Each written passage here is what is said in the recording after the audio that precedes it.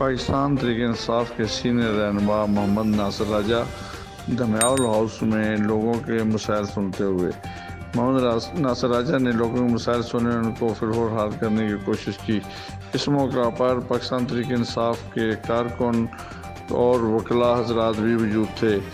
तनवीर मीर और मोहम्मद वहीद राजा, सीनियर रहनमा P T I और ट्रेड विंग के सीनियर नायब सदर भी इस मौका पर मौजूद थे।